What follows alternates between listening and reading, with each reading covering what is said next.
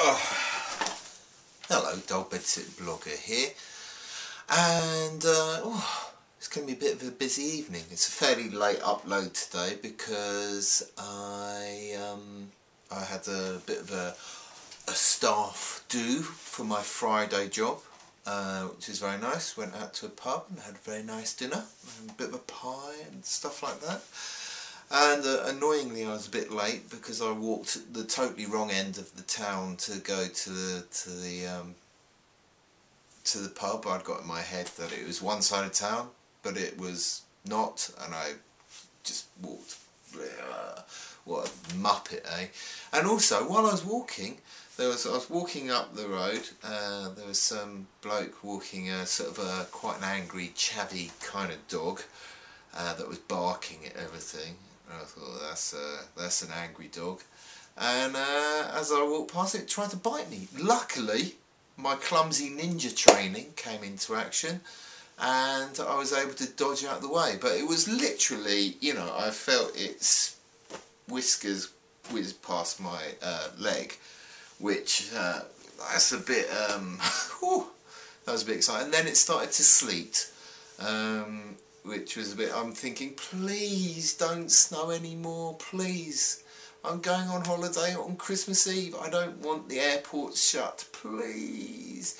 Once I'm in Thailand, yeah. Just do what you like. Uh, but no, please. So, um, so yes, that's what I've, I've done tonight and then later I'm going to be putting together my vlog for Monday which is going to be for my competition that um, you can all enter and uh, you can win prizes. Oh yes, it's all about the prizes. What do prizes make? Um, more possessions in your in wherever you live. That's what prizes make.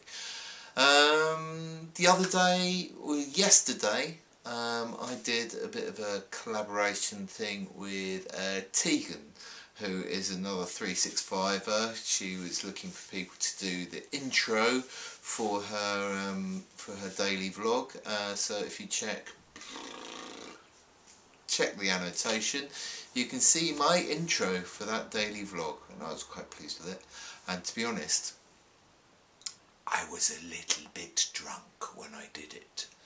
Um, I think, yeah, I think I did it after I did the drunken vlog, after drinking lots of red wine.